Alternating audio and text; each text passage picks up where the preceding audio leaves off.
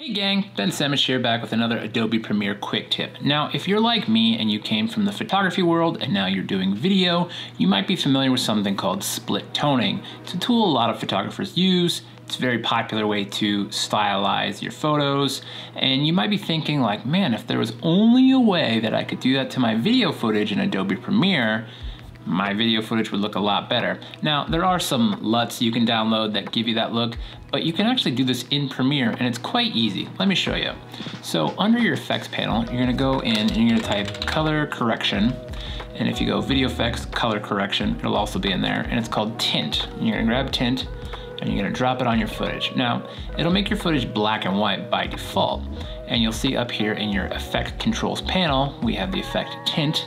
So you'll map your black point to what you want your shadows to look like. So let's do teal and orange, I guess. I don't know, can't think of anything better. So let's do, eh, let's go more blue.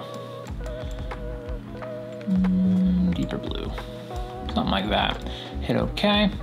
And then we'll go for that orangey look, something like that and hit OK. And now you see it's kind of done a number on that. So you'll need to take one more step under here where it says amount to whatever that's whatever that fully says amount to tint. There you go.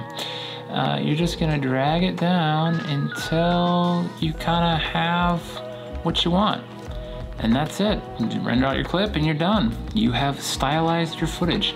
And if you want, you can really go over the top and make stuff like this, which could be very useful for you know, social media posts or something, you just throw some graphics on top of it, maybe blur a little bit. You know, there's a lot of use cases for this tool, and it's one that's kind of buried down there, so you might not know about it. So hopefully I taught you something new.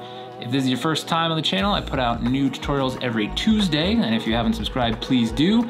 And uh, hit the like button while you're at it, because that helps me out, and if you help me out, I can keep helping you out. So that's all I got for you today. See you next Tuesday.